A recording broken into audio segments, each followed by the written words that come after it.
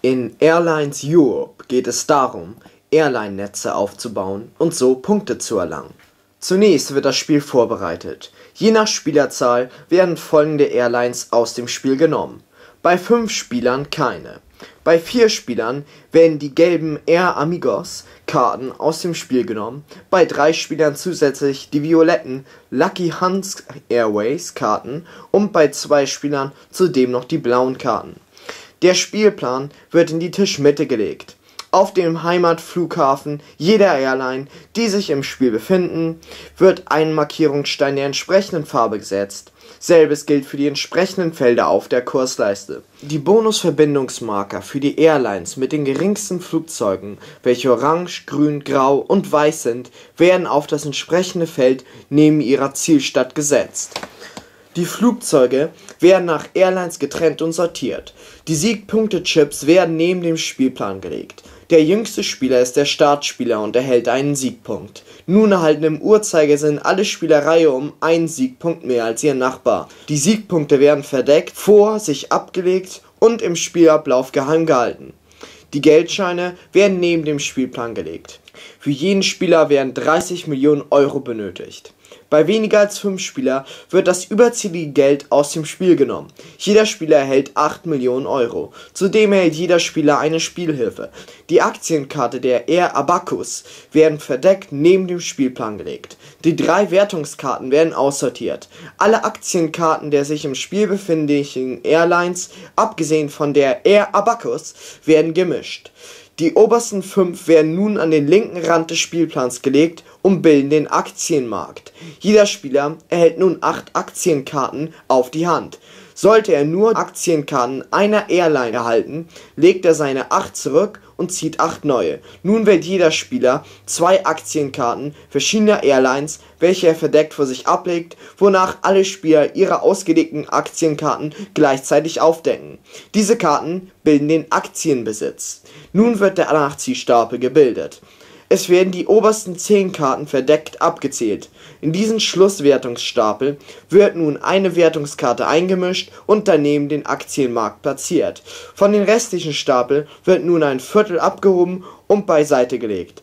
In den restlichen Stapel wird nun in die Mitte eine Wertungskarte gesteckt. Dann wird dieser Neustapel auf den Schlusswertungsstapel gesetzt unter das zurückgelegte Viertel wird nun eine Wertungskarte untergeschoben. Dann wird auch dieser Stapel auf den restlichen Stapel gesetzt. Das Spiel verläuft im Uhrzeigersinn, wobei der Startspieler beginnt. Sobald ein Spieler an der Reihe ist, muss er eine von vier Aktionen ausführen. Option A ist, eine der zwei Streckenlizenzen zu kaufen und eine Aktie auf diese zu nehmen.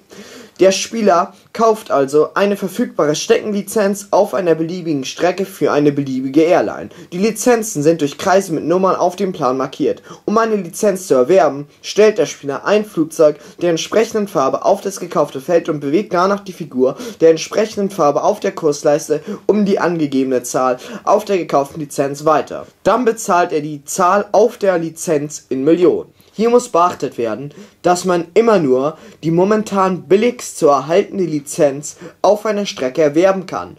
Man kann auch nur eine Strecke erwerben, die mit dem entsprechenden Heimatflughafen der Airline oder einer sonstigen gekauften Strecke in direkter Verbindung steht.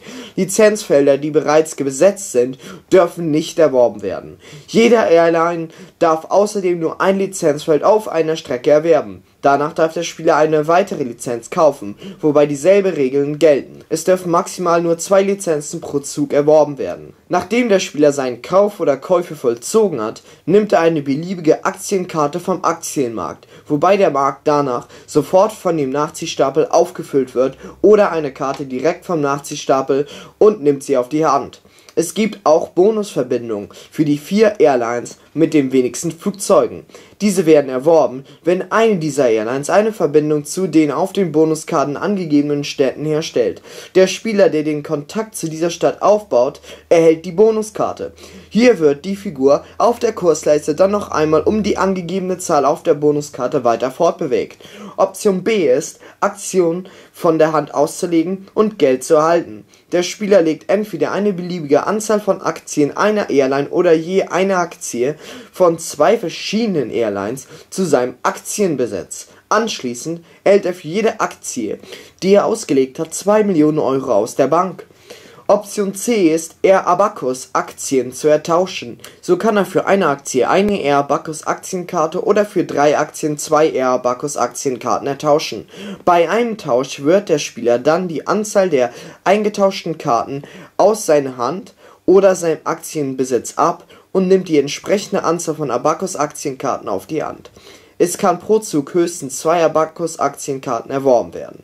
Air Abacus ist eine spezielle Airline, die keine Flugzeuge oder Streckenlizenzen besitzt, aber bei jeder Wertung eine festgelegte Anzahl von Punkten bringt. Option D ist, sich Geld zu nehmen. Hierbei erhält der Spieler 8 Millionen Euro aus der Bank.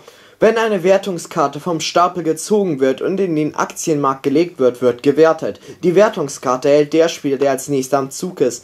Danach wird die Aktienkarte wieder auf 5 aufgefüllt. Wird eine Wertungskarte von einem Spieler direkt gezogen, gibt er die Karte gleich zum nächsten Spieler. Dann erhält der Zieher die oberste Karte vom Nachziehstapel als Ersatz. Nun wird zunächst der Aktienmarkt geleert, wo sich nun Reihe um jeder Spieler eine Karte vom Aktienmarkt auf die Hand nimmt, wobei der Spieler mit der Wertungskarte beginnt. Erst nachdem der Aktienmarkt leer ist, wird er wieder komplett aufgefüllt. Nun werden die Siegpunkte pro Airline verteilt. Begonnen wird mit der Airline, die auf der Kursleiste am vordersten ist. Die Zahlenfolge neben dem Wertungsbereich, in dem sich die Figur befindet, gibt die Siegpunkteverteilung an. Der Spieler, mit den meisten Airlines der entsprechenden Art in seinem Aktienbesitz erhält Siegpunkte-Chips in Höhe der ersten Zahl auf den Wertungsbereich. Systematisch erhalten dann die Spieler mit den geringeren Aktien die entsprechenden Siegpunkte-Chips. Spieler, die keine Aktien von dieser Airline haben, erhalten keine Punkte. Zuletzt werden die Siegpunkte für Air Bacchus verteilt Ihre Siegpunkteverteilung ist auf dem Spielplan auf dem aufgedruckten Notizblock festgehalten. Nachdem gewertet worden ist, geht das Spiel weiter mit dem Spieler, der die Wertungskarte hat, welche nun aus dem Spiel genommen wird.